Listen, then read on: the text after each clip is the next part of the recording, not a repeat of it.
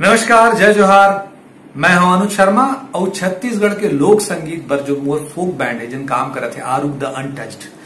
ये सब गाना अगर आप देखना चाहता हो, अगर आप मोर फ़िल्म के शूटिंग रिपोर्ट देखना चाहता हो, अगर आप मोर फ़िल्म के टीजर, ट्रेलर, मोर फ़िल्म के गाना, मोर एल्बम के गाना देखना चाहता हो, बहुत सारा ऐसे वीडियो जिन्हें आप कभी नहीं देखे हो, एकदम नया नया अलग अलग तरह के वीडियो देखना चाहता हो, और अगर छत्तीसगढ़ के बारे में बहुत इंटरेस्टिंग जानकारी आप चाहिए तो आप सब्सक्राइब करो मोर यूट्यूब चैनल ला, जिनमें आप ये हर तरह के वीडियो देखे बर मिलही तो देरी झन करो, तुरंत सब्सक्राइब करो मोर यूट्यूब चैनल ला।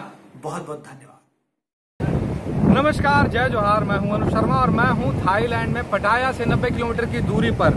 ये रेयोंग बीच है जहाँ पर हम लोग आज शूट कर रहे हैं फ़िल्म प्रेम के बंधना की। यह फ़िल्म छत्तीसगढ़ ही में बनने वाली पहली फ़िल्म है जिसकी शूटिंग भारत से बाहर की जा रही है।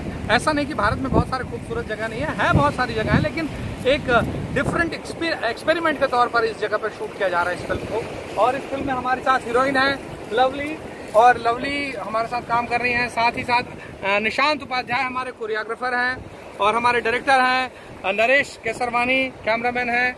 एक कैमरामैन हमारे मोबाइल चला रहे हैं, राजकुमार जी, और दूसरे कैमरामैन हमारे इधर काम कर रहे हैं। और साथ ही साथ हमारे यहाँ के लाइन प्रोड्यूसर साथ में हमारे, एक खास बात मैं बताना चाहूँगा थाईलैंड के बारे में, वो ये है कि थाईलैंड और भारतीय संस्कृति में काफ़ी सारी समानता है। अभी मैं एक बच्चे से मिला था जिसका नाम था पीयू।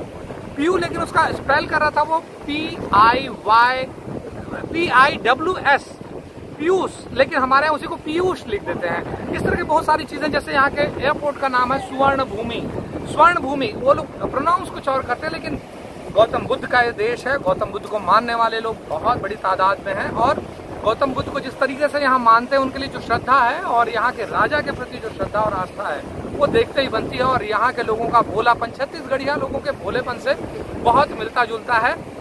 कुल मिलाकर थाईलैंड अच्छे लोगों की बस्ती वैसे तो थाईलैंड और किसी चीज़ के, के लिए मशहूर है लेकिन आप पूरे परिवार के साथ यहाँ आकर एंजॉय कर सकते हैं। फ़िलहाल हम लोग अपना शूटिंग करते हैं देखते